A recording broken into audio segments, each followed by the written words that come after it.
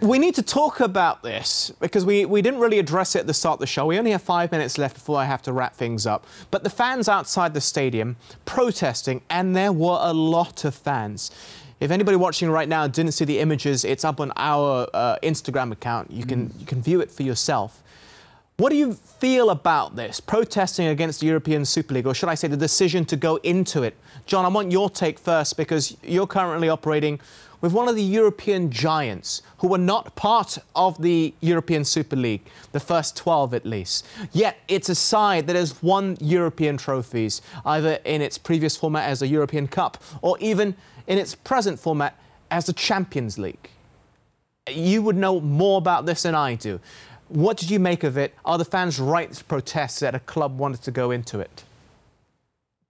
Yeah, I think they're right. You know, uh, it is wonderful to see the strength of the English football and the fans. They stick together because the the Super League, uh, you know, football is for the fans, and what we said always at Everton, uh, we are the people's club, and uh, you can't buy everything uh, with money. And then the other side, you know, it's the principle of uh, of, of sport of football, the the element uh, of the competition. If you have the Super League you can't relegate, uh, you can't win anything. It's all about uh, the money. So uh, winning or losing doesn't matter. And what what Pep Guardiola mentions in in his in his press conference, Ajax was not even involved, and PSG they said no, Bayern Munich said no, Benfica said no, Porto said no.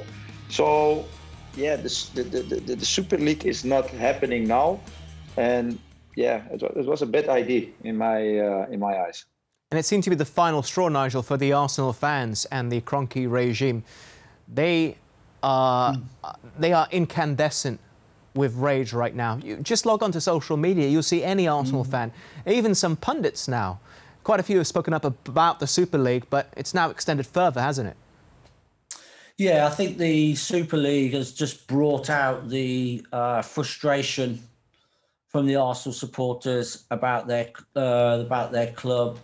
They feel that there isn't enough money being invested into the football club uh, by Stan uh, Stan Kroenke.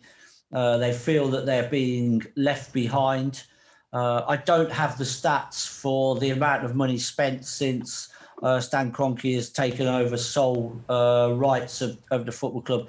To before that, I mean, I think you would you would need to look at at those uh, the amounts of money spent before and since he's come into to the football club to to really analyse that. But there's a whole host of issues at Arsenal. It goes back to moving to the Emirates and the supporters being told this is where we need to be to be with the big teams and unfortunately, we cannot hide from the fact that we've moved to the Emirates and our team has fallen behind, not only in the Premier League, but well behind the big, big teams uh, around the world. And there is a lot of frustration at Arsenal uh, with their supporters because they are paying a lot of money, but they feel they're not getting value for money at the moment. And this is just another trigger point for them, I'm afraid. The Super League for me was a bad idea. It's not a fair competition. I agree with John. Uh, I d- I didn't know the full details of uh, how you get into the competition if you're not in it. It just it just felt wrong uh, to me. Some of the top teams in the world were not even going to com- uh, participate in the competition. Yeah. Um, absolutely crazy. Teams with rich history in Europe, like John mentioned, the likes of Benfica and Porto won it.